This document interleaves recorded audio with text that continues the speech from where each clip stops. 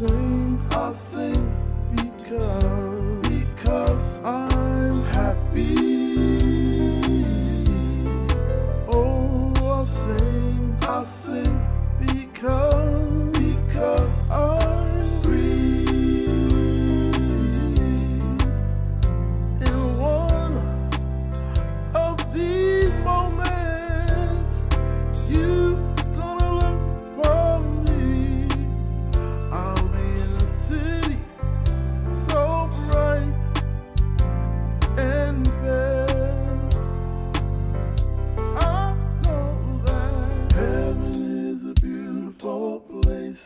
Because the Bible tells me so.